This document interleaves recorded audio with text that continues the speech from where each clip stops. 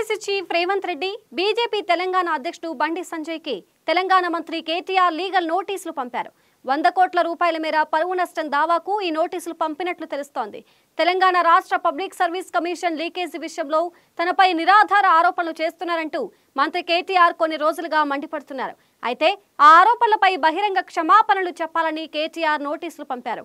ఇప్పటి వరకు చేసిన ఆరోపణలను వెనక్కి తీసుకోవాలని చెప్పారు.